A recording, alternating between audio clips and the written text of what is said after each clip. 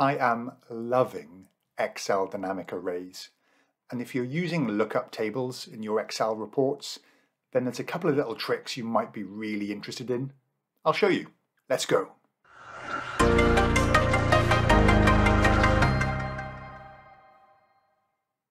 So let me show you this scenario and, and talk you through what I'm going to do. Here's my data source um, brought in by Power Query, of course, pulled in from another file um, some daily data, and we've got a role and we've got work order. And I've got some extra information. I've got a rate that I want to look up assigned to that role, and I've got a work order number and who the manager is. And those two facts are on another table, on this little lookup up table. Okay, so we've got the roles, etc. So let's just start building um, my little solution.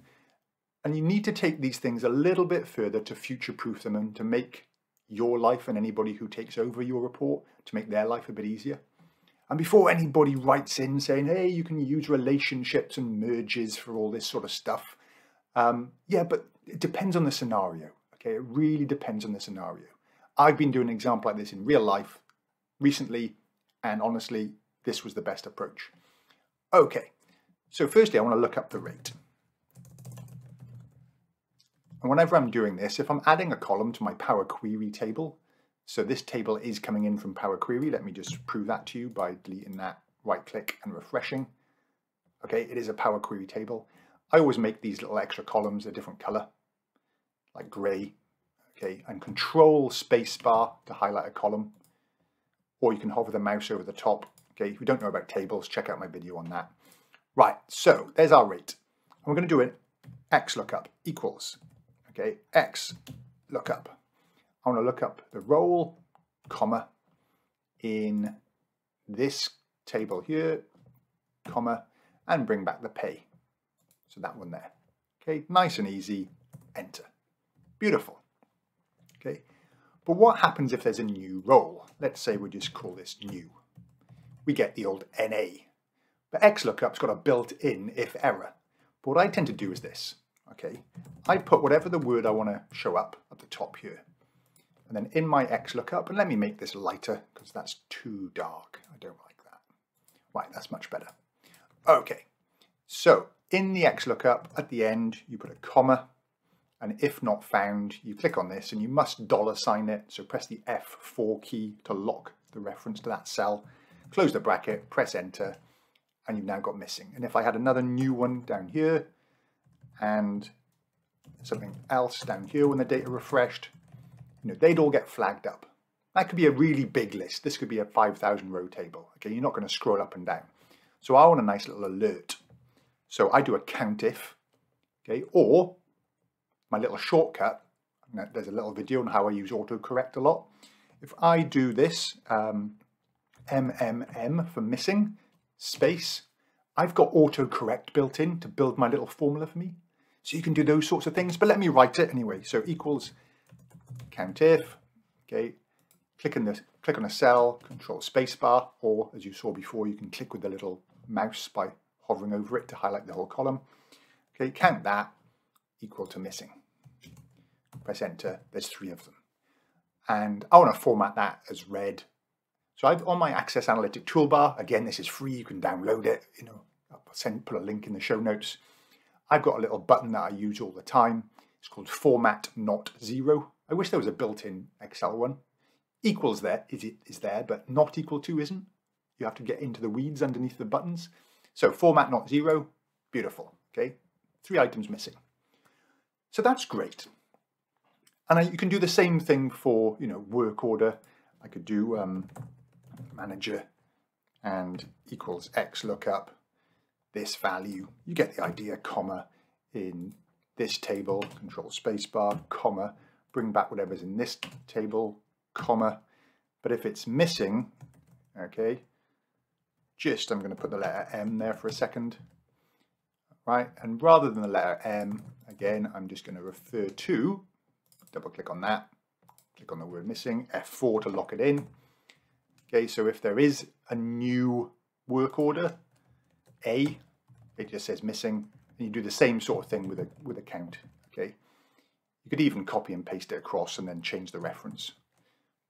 Get the idea. Right. But what I like to do is this, okay? They're missing. So what should you do? Well, I give a little hyperlink now to the end user or to whoever's taken over this report. I build this stuff for other people a lot, but for me as well, it'd be quite handy if I had a little hyperlink to jump me to the rate table, because that rate table could be on six pages in somewhere. So use the hyperlink function, so equals hyperlink, and this is the way I do this to, to save sort of clicks. You actually have to write double quote hash, but I don't do that yet. I go and click on the column of the table where the roles are, okay? Do a little comma and then say jump to roles. Okay, and this causes a little error because it's trying to spill down the whole table. And it's this bit that you then put a little, okay, maybe put a few spaces in here. Got to put the hash at the start, okay, and then you've got to put a little double quotes. Oops, you've got to put a little double quotes in there. A little bit fiddly. And you are then hard coding in essentially this column. So there potentially other ways of doing that, but you know, just for demo purposes. Click on that, it jumps you there. All right, so that's pretty nice. Okay, I thought there must be a better way of doing this sort of reference rather than hard coding it in.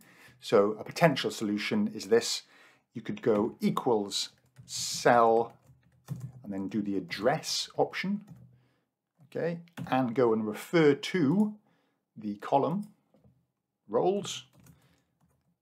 Okay, so that's the address and you can hyperlink to that, which makes the formula look a bit, so you've got to put the hash in there and then you can do an ampersand. It makes the formula look a bit ugly, but it's dynamic and if somebody changes the table name, the cell won't, the formula won't break. Um, jump to roles. That's probably a better, you know, actually that's probably a better way. Jump to roles, click on it, and it doesn't matter if this tape, this heading gets changed to role, okay? This hyperlink still works, beautiful. Whereas this one will fail because we hard coded in roles. Anyway, back to the video. Okay, and then check this out. One more thing. I want to be able to go to here and actually show a list of the missing roles. So new roles, okay, we're going to use the filter function, which is a great function. So I want to filter this list where, comma, uh, this column, the rate, equals this cell, and then press F4 to lock that in, okay? F4, close the bracket. There we go. There's the list of the missing items. All right. Um, let's get rid of any if there were any duplicates, we could get rid of those. So let me just change this to, let me change this one to new with the lowercase. So if we go back here, look, new and new, I don't want both of them. So we could just wrap that in a unique, okay, unique. I like putting a few spaces in my formula as well, just to make it nice and easier to read. And you could even wrap that in a sort to get it to sort in the right order. Okay, but don't leave it there, don't leave it there check this out. What if there's no missing roles? Okay, so let me just go back. I'll actually refresh the Power Query. Okay, right click, refresh. It's updated. Okay, there we go. We go back to our list. calc, because there's no, nothing to filter. But the filter argument has an option in it. So I just do the comma, okay, inside the filter function. Okay, if empty is the argument. So if it's empty, I want to put and I'm going to put a little emoji in there with a Windows key full stop and look for the tick. Okay, I'm just going to put a tick and say all roles present. Okay, double quotes. Right, so that's the option. So it just shows that if there's no missing roles. And as soon as there's a missing role, let me go in here and say new one or whatever it is. This then lists the new one. And I can just copy and paste that. That's pretty cool. All right.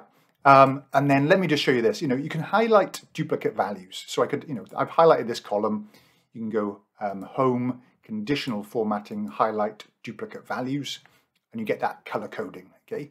But if that's a big list, You want something more obvious, just in your face. Hey, there's duplicates, because you do not want duplicates in your lookup table. So it's a COUNTIF function. Okay, so I, I do it this way. It, it's a bit of a complicated one, and I've got a little shortcut in my um, autocorrect, a little link will pop up to take you to how I wrote this formula. But if I write DDD for duplicates space, it writes my COUNTIFs formula for me. And I just double click on this, pick my column and press enter. And it says, look, there's a duplicate, right? One or more duplicates. And I can go to my little toolbar and say format not zero, click on that. And if you actually want a list of the items, I've got another little shortcut, DDDL. All right, double click on this little bit, column A, click in here, control spacebar, enter. That then lists the duplicate items, which is pretty cool. And it's dynamic. So if this one got doubled up, shows up here. So there we go. All sorts of little features. Hope you enjoyed the video. Let people know about it. Share the channel. Love getting your comments. And I will catch you later.